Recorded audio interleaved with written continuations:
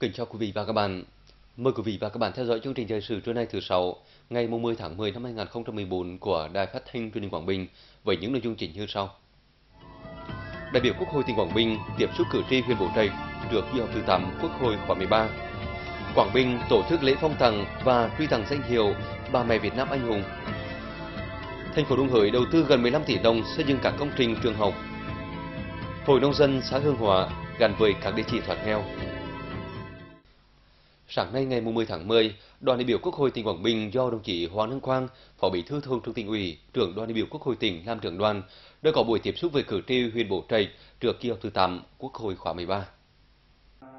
Tại buổi tiếp xúc, đại biểu Quốc hội tỉnh Quảng Bình đã báo cáo nội dung chương trình kỳ họp thứ 8 Quốc hội khóa 13. Kỳ họp diễn ra từ ngày 20 tháng 10 đến ngày 29 tháng 11 năm 2014 tại Hà Nội. Tại kỳ họp này, sự kiến Quốc hội sẽ xem xét thông qua 17 dự án luật, 3 dự thảo nghị quyết và cho ý kiến vào 12 dự án luật khác. Đồng thời, đại biểu Quốc hội tỉnh cũng báo cáo với cử tri một số kết quả về tình hình phát triển kinh tế xã hội của cả nước và của tỉnh trong 9 tháng đầu năm 2014. Sau khi nghe nội dung chương trình kỳ họp thứ 8 Quốc hội khóa 13, hầu hết cử tri huyện Bố Trạch đã bày tỏ sự tin tưởng và kỳ vọng vào thành công của chương trình kỳ họp, đồng thời mong muốn những ý kiến kiến nghị của cử tri sẽ sớm được trả lời trong kỳ họp này. Cử tri huyện Bố Trạch cũng đề xuất một số vấn đề về việc có chế độ chính sách hợp lý đối với những người tham gia quân ngũ trong giai đoạn từ sau 30 tháng 4 năm 1975 đến năm 1985. Cơ quan chức năng cần giám sát chặt chẽ hiệu quả việc cho thuê đất dài hạn trên địa bàn, có cơ chế chính sách và điều chỉnh nguồn vốn hợp lý cho chương trình mục tiêu quốc gia xây dựng nông thôn mới đối với các xã khó khăn. Cần thực hiện chủ trương hỗ trợ đối với những hộ nông dân trong rừng bị thiệt hại do thiên tai, có giải pháp đối với một số công trình cơ sở hạ tầng bị xuống cấp của địa phương, vân vân.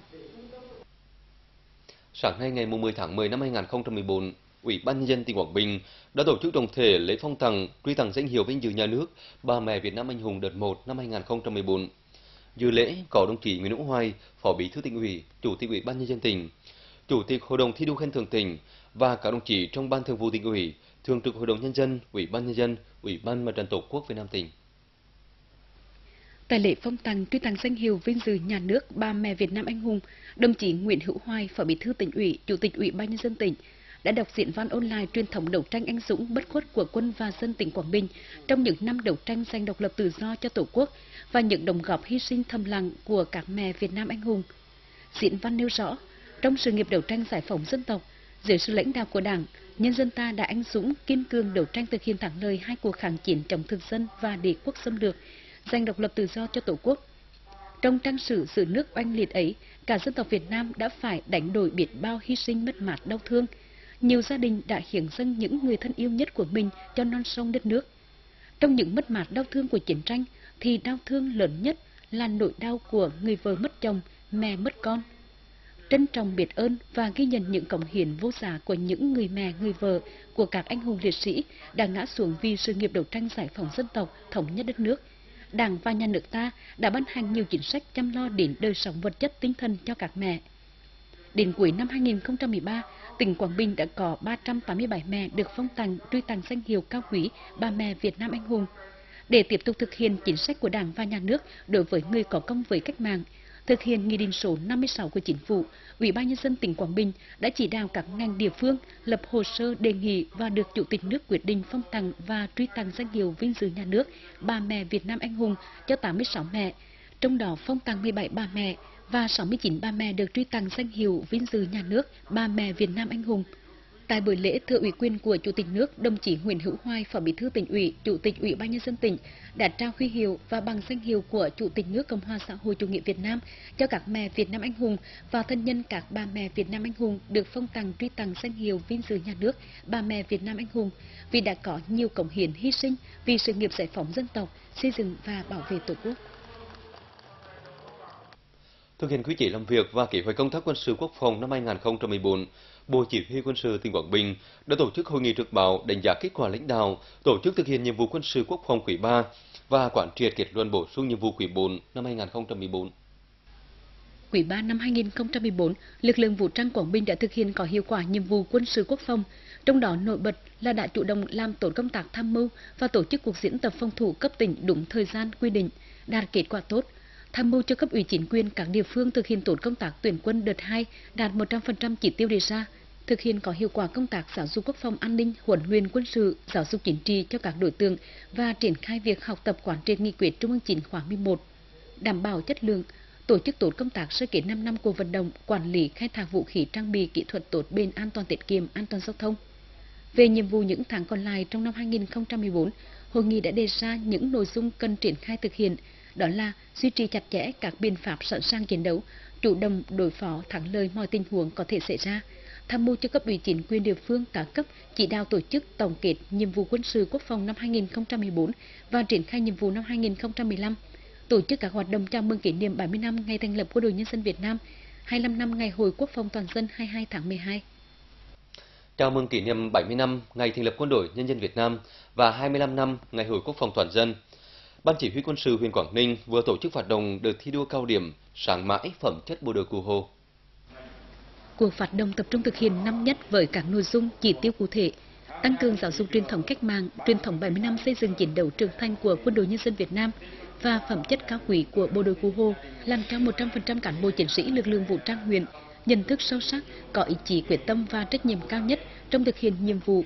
Với tinh thần mỗi người mỗi ngày là một việc tốt, mỗi cán bộ chiến sĩ tích cực góp phần xây dựng cơ quan đơn vị vững mạnh, hoàn thành tốt nhiệm vụ an ninh quốc phòng,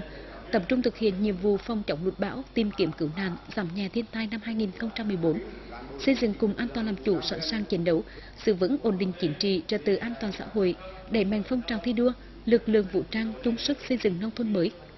Hưởng ứng cuộc phát động sáng mãi phẩm chất bộ đội cụ Hồ, đại diện các ban của ban chỉ huy quân sự huyện, ban chỉ huy quân sự các xã thị trấn, các đơn vị tự vệ trên địa bàn đã ký cam kết thi đua, quyết tâm thực hiện thắng lợi chỉ tiêu của vận động. Hiện nay, cơ sở vật chất hạ tầng, trang thiết bị dạy học ở một số trường mầm non trên địa bàn thành phố Đông Hới vẫn chưa đáp ứng được nhu cầu học tập vui chơi của các cháu. Một số trường phải bố trí lớp học từ 40 đến 45 cháu. Điều này đã gây ảnh hưởng không nhỏ đến chất lượng dạy và học. Nhằm khắc phục tình trạng quá tải tại các trường mầm non, trong hai năm qua, Ủy ban nhân dân thành phố Đồng Hới đã đầu tư gần 15 tỷ đồng để xây dựng 15 phòng học và 7 phòng chức năng cho các trường mầm non. Ngoài ra, thành phố cũng đã tích cực thực hiện các biện pháp nhằm xóa bỏ tình trạng phòng học tạm tại các điểm trường lẻ của trường mầm non Nam Lý, phối hợp đầu tư nâng cao chất lượng giáo dục của hệ thống trường mầm non tư thục và nhóm trẻ gia đình, đảm bảo chất lượng nuôi dạy trẻ ngang bằng các trường mầm non công lập. Đây cũng là một trong những giải pháp để giảm tải cho các trường công lập trên địa bàn. Đến nay, Chi cục thuế thành phố Đồng Hới đã thu nộp vào ngân sách nhà nước vượt kế hoạch giao cả năm 5,3%. Năm 2014, Chi cục thuế thành phố Đồng Hới được tỉnh giao thu nộp vào ngân sách nhà nước 450 tỷ đồng. Để thực hiện thu đạt và vượt chỉ tiêu trên giao, ngay từ đầu năm, Chi cục đã quán triệt trong toàn thể cán bộ nhân viên tập trung toàn lực cho nhiệm vụ thu ngân sách, khai thác nguồn thu, chống thất thu và thu hồi nợ đồng thuế, tập trung vào các khoản thu lớn. Trong quá trình thực hiện nhiệm vụ, Chi cục đã chủ trọng việc cải cách hành chính, tạo điều kiện tối đa cho người nộp thuế, tăng cường công tác tuyên truyền hỗ trợ người nộp thuế ở tất cả các khâu, các bộ phận, đặc biệt là tổ chức tuyên truyền sâu rộng luật sửa đổi bổ sung một số điều của luật quản lý thuế, luật thuế thu nhập cá nhân cùng với các chính sách thuế khác. Chi cục cũng thực hiện xử lý nghiêm những trường hợp vi phạm hành chính về thuế. Nhờ vậy nên mặc dù các đơn vị sản xuất kinh doanh trên địa bàn còn gặp nhiều khó khăn nhưng đã thực hiện tốt nhiệm vụ nộp thuế. Đến nay, Chi cục thuế thành phố Đồng Hới đã thu nộp vào ngân sách nhà nước 474 tỷ đồng, đạt trên 105% so với kế hoạch, bằng 210% so với cùng kỳ năm 2013. Các hạng mục thu khác như thu tiền sử dụng đất được 333 tỷ đồng so với kế hoạch đạt 127%, thu từ các doanh nghiệp quốc doanh đạt 128%, thuế thu nhập doanh nghiệp đạt 133%.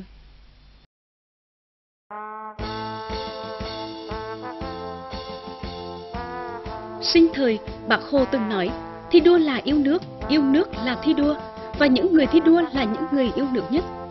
Thực hiện lời dạy của bác, lực lượng cựu chiến binh Quảng Bình không ngừng thi đua trong lao động sản xuất, gương mẫu đi đầu trong các hoạt động của địa phương, góp phần không nhỏ trong công cuộc xây dựng và bảo vệ quê hương đất nước. Với mục đích tôn vinh các điển hình tiên tiến xuất sắc của cựu chiến binh Quảng Bình giai đoạn 2009-2014 và vinh dự đón nhận huân chương độc lập hạng ba, Hội cựu chiến binh tỉnh sẽ tổ chức đại hội thi đua yêu nước cựu chiến binh gương mẫu tỉnh Quảng Bình lần thứ năm, nhiệm kỳ 2014-2020. Chương trình được truyền hình trực tiếp trên sóng QBTV vào lúc 7 giờ 30 phút ngày 15 tháng 10. Mời quý vị và các bạn đón xem.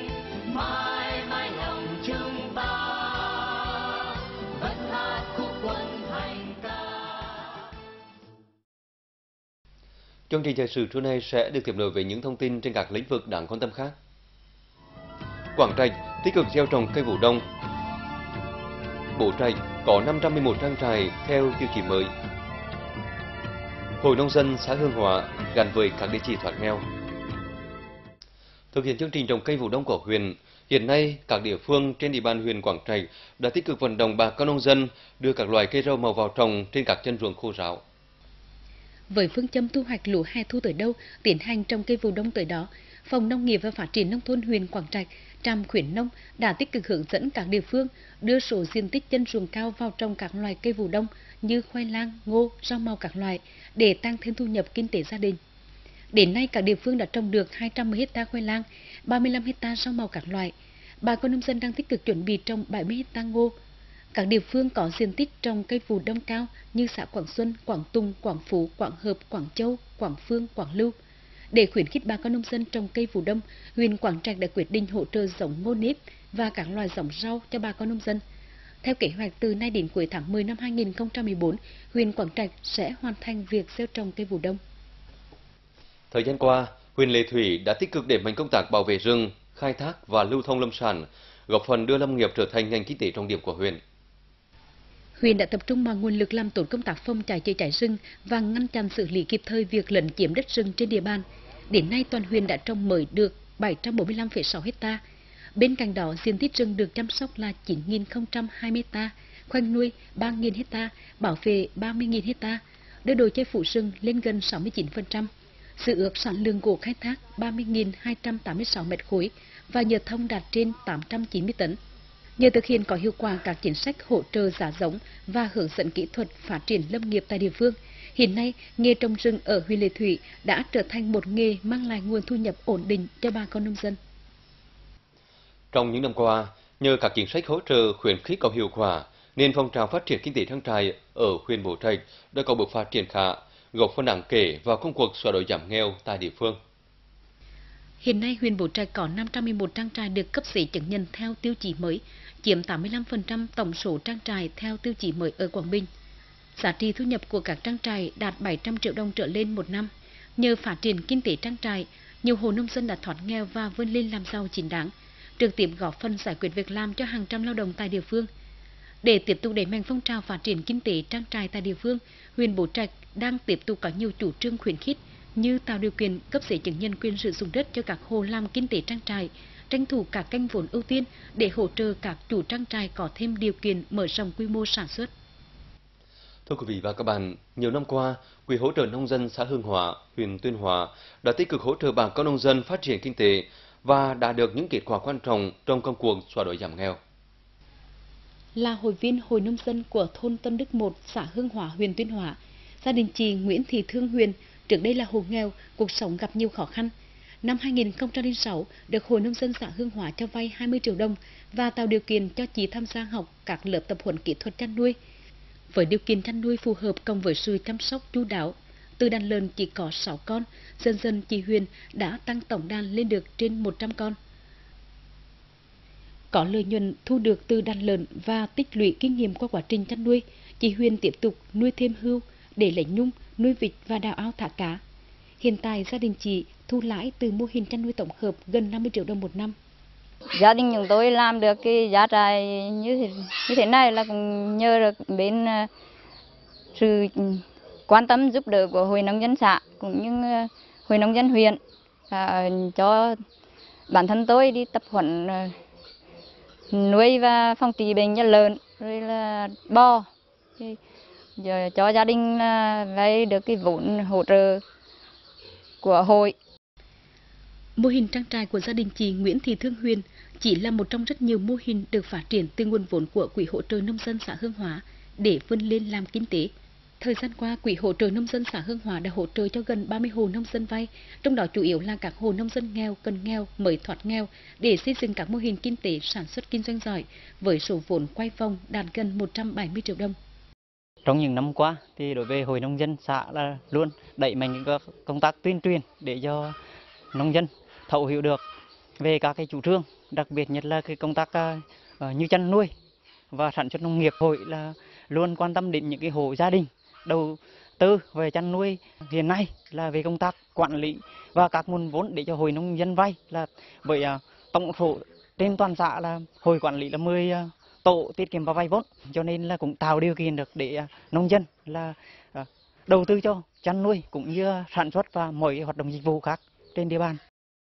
Việc phát triển và xây dựng nguồn vốn từ quỹ hỗ trợ nông dân là chủ trương và đường lối đúng đắn. Mặc dù đây chỉ là một kênh trong nguồn huy động vốn giúp nông dân, nhưng quỹ hỗ trợ nông dân xã Hương Hóa đã khẳng định được tính hiệu quả qua các mô hình kinh tế của các hội viên hội nông dân.